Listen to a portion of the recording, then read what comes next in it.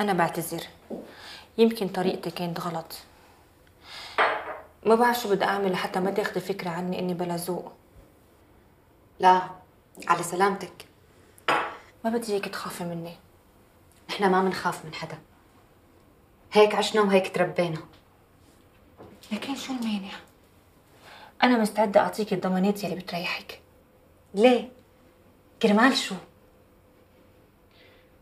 ولا ما بعرف شو بدي أقول.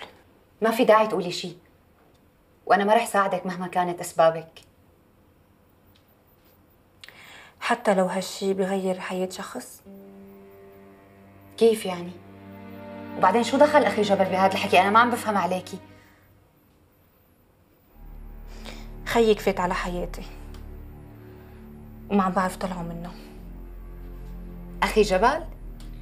إيه. مشان هيك بدي أشوفه. لا مستحيل عن جد ما عم بقدر صدق لك هي كثير كبيرة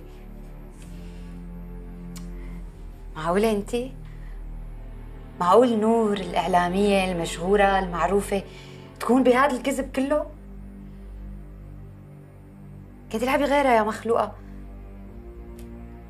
لعمة معقول وصلتي للي وصلتي له من ورا الكذب؟ ومعقول حط حالي بهيك موقف كرمال سكوب؟ يا منى أنا جيت لعندك لأنه أنا بنت مثلي مثلك. لما فت لهون تركت شغلي برا بيت بيتك. بترجيك تحاولي تفهميني. أنا فهمانتك كثير منيح.